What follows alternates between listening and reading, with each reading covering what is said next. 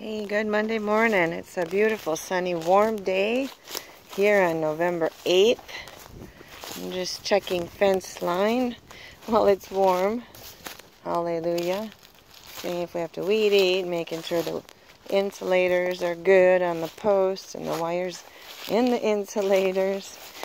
So it's also a nice hike for me. Thought I would share it with you part of the work of managing a horse stable is, of course, the pastures and taking care of the pastures.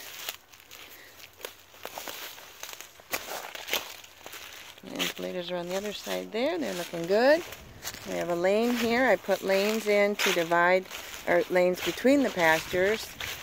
That way, uh, horses don't generally kick at the other horse because they're far enough away, then I don't have to replace that fence or fix the fence. Hallelujah.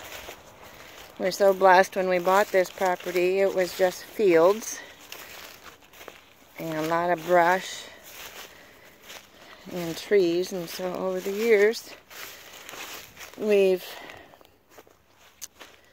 uh, made progress.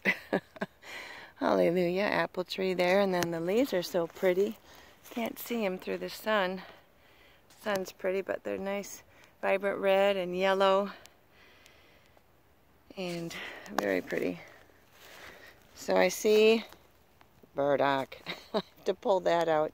Otherwise the horses bring it back in their forelocks, their manes and their tails. Because of course it's good eating right around there. Hallelujah.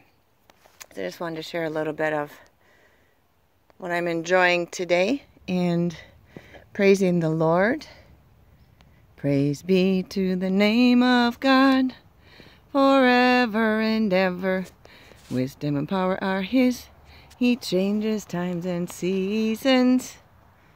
Godliness has value for all things, holding promise for the present life and the life to come.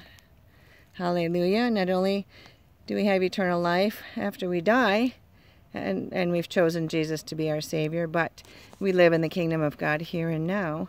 Hallelujah. Knowing God, living by the power of His Holy Spirit in us. So I pray that you will, may the God of hope fill you with all joy and peace in believing, that you may abound in hope by the power of the Holy Spirit. Hallelujah.